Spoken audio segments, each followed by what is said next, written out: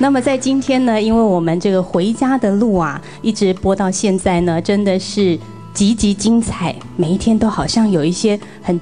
打到我们的心，看到我们自己缺点的地方哦，所以呢，特别邀请在剧中这三对的真实人物，一对一对呢，都会上台来跟我们分享一下他们的一些人生体验，还有在经过这个呃瓷器路的这样子一种心得。先用一点点的时间来看今天第一段的 VCR。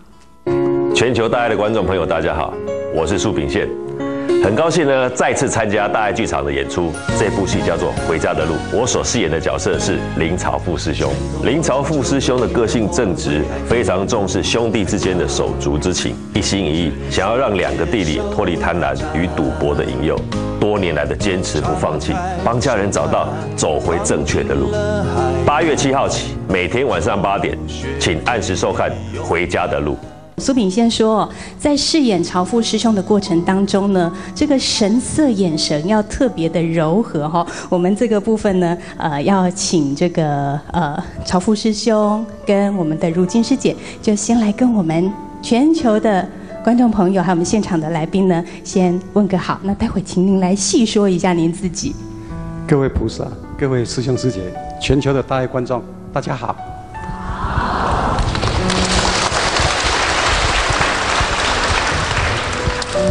位慈济的家人，各位全球的大爱观众，大家午安。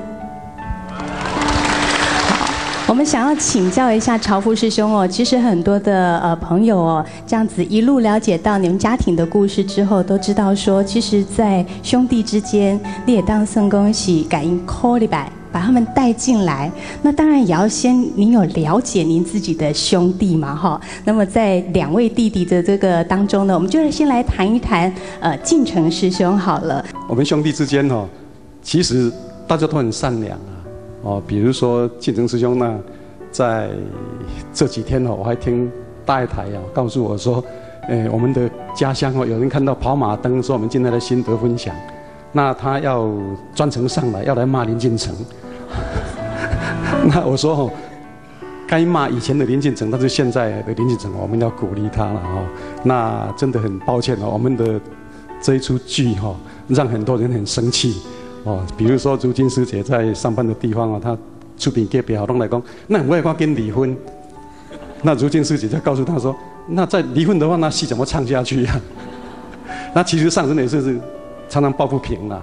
哦，那一天我听庆成师兄说来跟上人告假哈，上人说，哦，我看到桂玉哈要离家出走，那也不会照到横的麦凳来。那人家上人还补充一句哦，说，不过伊奶在催我哈，我也叫伊跟邓去啦，哦，所以上人还是很慈悲啦。那建成师兄啊，他在我们小时候来讲，他就是很孝顺，哦，再怎么起落哈。还是会跟妈妈道歉的，哎，还是很善良。曹副师兄，我知道在这个要接引进城师兄进来慈济的过程当中，你也曾经真的想要放弃了吼。哎，我们家有四个兄弟哈，嗯，有三个会赌博了。哦，真的。我以前常我以前常常说家门不幸哈，四个兄弟有三个会赌博，但是后来我就觉得说。真的是祖上有德。嗯，四个兄弟里面有三个兄弟能够进来吃鸡啊，真的是祖上有德，这是一个观念的问题啊。所以一样哦，一样都是百分之七十五的机会哦，蛮好的哈。不过当然您说啦，这个祖上是有德啊，但是也多喝利比亚嘛，其实来喝看酒。好牵手在旁边，感觉上就是同心协力的，真的不放弃。我们就要来请如今师姐跟我们谈谈喽。在过程当中，其实我们知道这个朝父师兄真的有一度哦，就是算了算了。还讲出说啊不，我感觉这更正经后啊来邓音呐。但是我们从剧里头也看到，如今师姐似乎都是有一条轻轻的线，不断的在把它拉回来。跟我们聊聊当时候你为什么这样子坚持的心境，好不好？真的一个人哈，呃，只要有耐心哦，他一定可以呃改邪归正的。你这样子的一种对人信任，然后有那种人本慈悲的观念，是从小就建立来的吗？嗯，也许真的，我从小哈是，我虽然是养女哈，可是呢，我真的是在爱的呵护下长大的，所以呢，我从小我的养父母真的非常的疼疼惜我，疼爱我，所以呢。我从小没有被被爸爸妈妈打过骂过啊，所以我觉得我周遭的人都是好人，我没有遇到过坏人，所以呢，我真的非常感恩我上辈子的我真的有跟呃。大家结善缘嘛，哈，上人说要广结善缘，也许我前辈子就结了善缘，所以我这辈子我碰到的人都是我的贵人，真的是就看得出来，其实呃，这个如今师姐把上人的普天三无真的落实在生活当中，金匠不唔怕还给鬼啊。嗯，那如今师姐她是喜怒哀乐哈都形于色，啊，她一生气的话，脸上马上看得出来，包括。两个弟弟在场，或是两个妯娌在场的话，一听到顾不欢喜，马上脸色会变。哦，那我两个弟弟也曾经说：“哦，阿四的面腔真歹。”但是那内心非常善良啊。哦，他内心真的是非常善良。所以当我告诉他说：“因为我建成输了一千八百万哦，那后来把车子卖掉了，哦，都捐了钱了，他已经发誓不再赌了。”所以我我那时候。我就以为这样子从此就可以过着太平的日子了。那想不到，他又在外面赌输九百万的时候，那时候就吓了一跳。因为如果师姐知道，一定会要求离婚嘛。那我们的承诺一定要实施了，实现嘛。所以我就很担心。所以要出门之前，我就告诉师姐说：“我今天要跟弟弟辞职，不要在他公司上班了。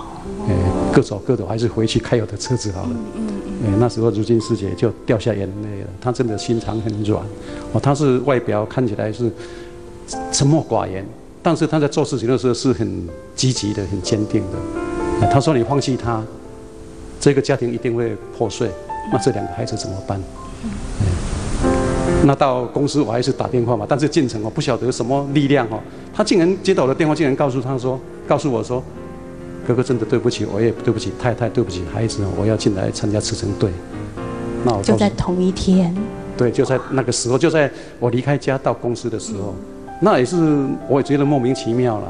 我本来想了一段台词要告诉他我要要辞职哦，那他告诉这样告诉我这样，我就没有就没有把话吞回去啊。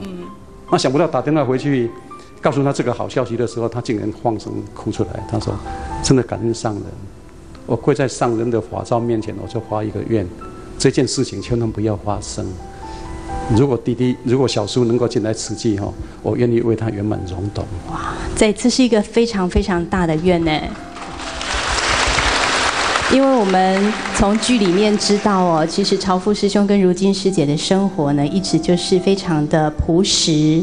那也不是说像这个弟弟一样哦，这么大的生意在做哈。那提到这一段，我就要请如今师姐跟我们分享喽。真的，每一个家庭都可以是幸福美满的。那为什么他没有走到这一步？如果真的发生的话？那他们两个孩子怎么办呢？上人绝对不是这样子教我们的，我们一定要救他们，很快的把他带进来，然后让他们去见苦知福的话，他们一定会惜福的。他们会知道说啊，他们是那么的呃有福报，那么的呃。呃，可以去发挥他们的良能的，所以那个时候我是存着这样子的一个心念，所以我我也我替他呃圆满融懂这样子。从刚刚这样子点点滴滴的讲下来，身为一个嫂嫂，就像一个妈妈一样，被给大家呢感情口好掉，蛮好耍起哈。呃，我觉得这真的很不容易呢，因为毕竟嫂嫂还一样不是妈妈啊。那如何的能够真的把两个弟弟弟媳妇的心抓得这么的牢？除了刚刚那种柔和慈悲的心是一个很大的力量之外，你有没有用一点点什么样子的小方法？那我们又去参看那个各呃我们的感恩户的时候呢，我就会邀请他们去，然后去了之后，他们看了之后就觉得说，哎，真正呢，咱是的生活还天堂呢，啊，这这个地个这样艰苦，然后呢，上人说不要去计较比较啦，然后进来实际之后呢，呃，我们可以做很多很多呃利益众生的事情，那我们就会觉得我们是幸福中的人，我们会很幸福，所以呢，呃，放下了那些的呃我执嘛哈，呃，不要一直去。看别人的呃呃坏坏处嘛，我们去看别人的优点，然后尽量去发生呃发现先生的优点。陶富师兄，其实这个过程来讲的话，其实也让你常常像拔河一样哦，一下要坚持，一下要放弃哈。在这个部分的话，如果说您有一些嗯，真的有点觉得好像很难继续为他们这么努力下去的话，您是自己如何来调整自己的心境？过程是很艰辛的，也曾经灰心过了。哦，刚刚您提起的小方法哈，比如说我们家庭一直很和乐，那我们常常有时候如今说，那今天礼拜天，我们到他家里去哈，包包水饺，哦，大家就是把整个家庭啊，他的孩子也在，我们大家都一起包包水，就在做家事的当中哦，那大家可以互动嘛，哦，那也事先都电话联络好了，建成师兄、桂师姐都联络说好啊，就那就礼拜天来。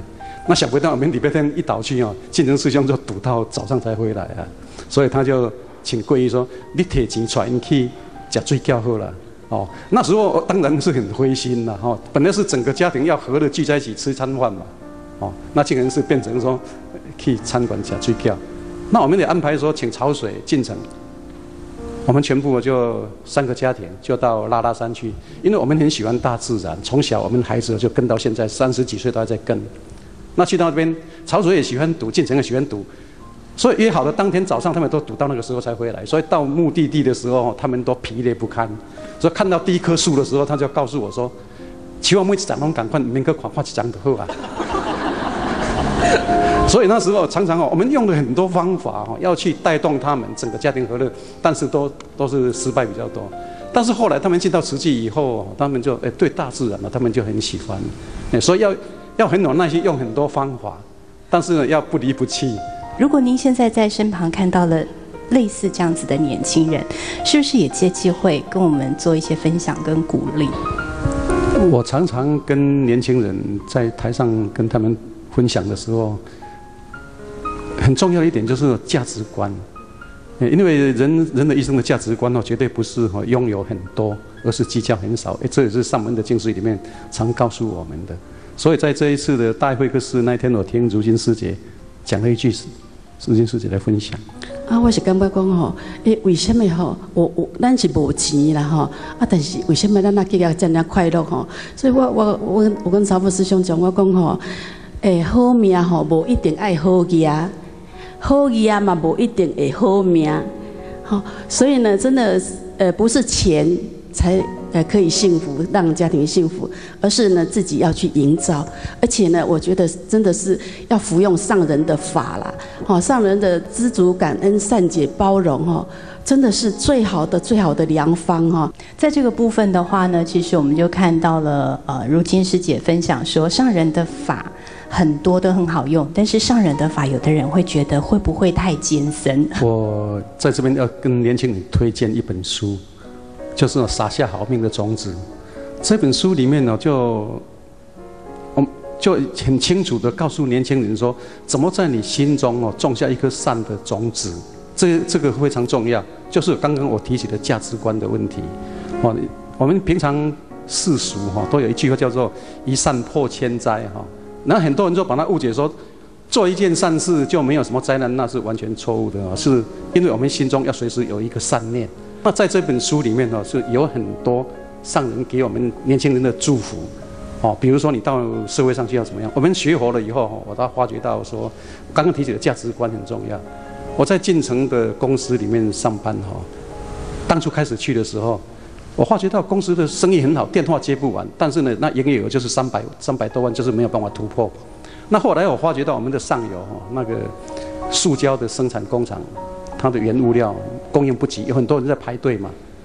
那有一次哦，他送货来的时候，我发觉到那个货单里面哦，有好几样没有写进去，价值差不多三四万块。那我们学会以后就知道说，这不是我们该得到的，他还要原料，还要电费，还要工资啊。我打电话告诉他说，你有几样没有写下去，你明天把单子补过来。他很吃惊，他说我做了工厂二十多年，从来没有一个人告诉我说哪个货单没有写。他说你是第一个。所以第二天他告诉我说：“从今天开始哦，你在下班之前把你需要的货传真给我，我晚上都做加班都做你的。果不其然哦，第二天早上满地都是我的货，连单位都多少数量都没有写。他说你自己拿回去称就好。从那天开始，就所有的加工厂都知道我们的纽扣交货最快，因为时装哦就是需要纽扣缝上去才能出货嘛，那要赶快。所以从那个时候开始，我们公司的业绩哈，因为交货很迅速，所以业绩从三百万、六百万 double 一直到哈最高曾经每个月营业额从三百万哦提升到两千三百万了。所以价值观很重要了，上人在这里面哦也很多给我们这一方面。所以执行力不是讲一定要假婚啉小酒，去和人拍马枪，去交际应酬绝对不是。诚信就非常重要，诚正信实。那我们刚刚谈到的都是这个进城师兄，我们好像都没有请潮富师兄来介绍一下我们的潮水师兄喽。其实你讲三个报告当中一起其中起来嘛，哈。那其实他面对到的这个为婚姻破裂的问题，似乎是也蛮严重的。那么在过程当中，您又是如何的跟他有这样子的一个互动？我刚刚有提起哈，我们家里虽然穷，但是呢。父母亲从小给我们的教育啊，都是很正向的。那我们兄弟的感情也很好。哦，比如说，我们兄弟里面是我最不会赚钱的了。但是每次有一些需要帮忙的哈，比如说有人往生需要棺木，我们曾经遇到这个个案，他们两个也都是会哦往，那我出多少钱？哦，那感情好到什么程度？我就跟大家分享一个小故事，像潮水师兄哦，他初中毕业就为了我们家庭的经济，就到台北来做事情。那时候我又回到家乡哦去读书，哦，所以他小时候就很早就出道出来奋斗，所以提早赚到钱。那时候我在花莲当兵哈，他到就从台北到花莲去找我，他看到我穿着，他说：“现在当兵是不是在花莲要交女朋友啊？你要要一套西装。”我说：“当兵一定交女朋友一定要西装。”他就花五千块去做一套西装给我。这我就讲的就是我们兄弟之间的感情哦。从小就父母给我们的时候，兄弟爱和啦，哎，那潮水师兄他从在当兵的过程当中，他是当教育班长，哎，那他改变有多大哈？我这边就要跟大家分享一段了。在当兵的时候，就是他很喜欢赌博，包括在当兵的时候还在赌。那那个辅导官哦，也跟他一起赌了。本来当辅导官也是不对了，本来这样当辅导长的就是要禁止大家不要赌博嘛。那听说是辅导官的牌品不好，赌输了哈。竟然骂潮水三字经，那时候我妈妈刚刚往生，那潮水就觉得说，我妈刚往生，你就欺负我妈妈，就跟他打架，哦，结果呢，那时候是动员戡乱，戒严时期就被抓去关警备了，要送军华。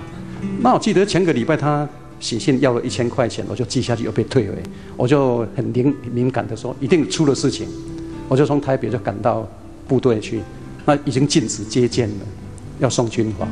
我们就透过很多关系要，把他教导出来。哦，他听到人家骂《三字经》是会打人的。但是有一次他进来以后，我就带他哦去当医院的职工。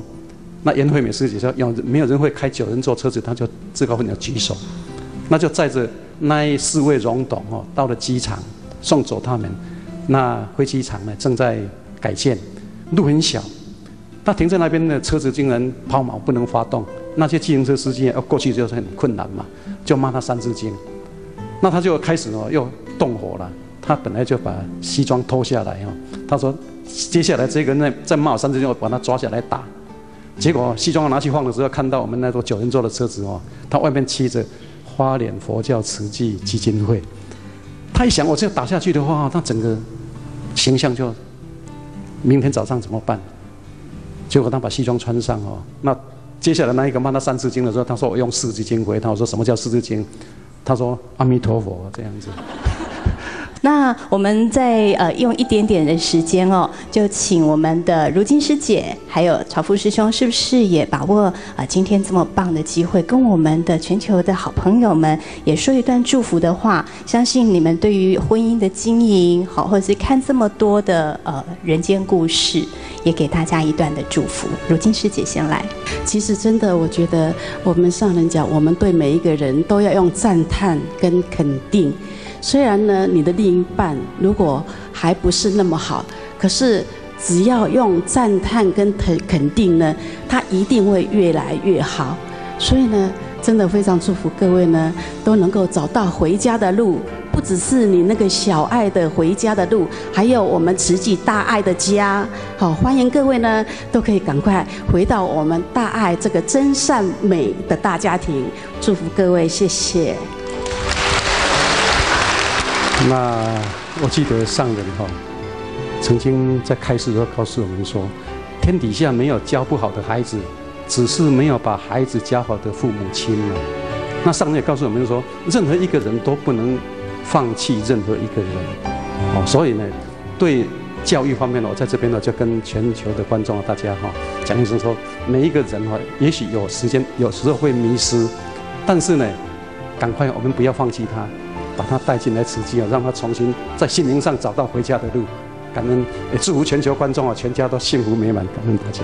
好的，那我们非常感恩今天朝富师兄还有如今师姐呢，在跟我们做这么好的分享，带大家一起找到回家的路。感恩两位。